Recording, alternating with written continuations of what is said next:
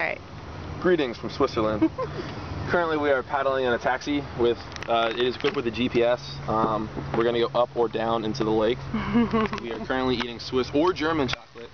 Um, Empty fuel. sadly we have no fuel or oil. we are currently bobbing in the danger zone, but also Danger. going 25 miles an hour. So, excuse me, kilometers per hour. And singing our favorite song. Song. Tick song. Tock, flower clock. what the fucking. It's raining over there. Shoot, we better have Shucks. You got Ruh-roh. moving in. Turn it around. Luckily, we only have to go right there. Yeah,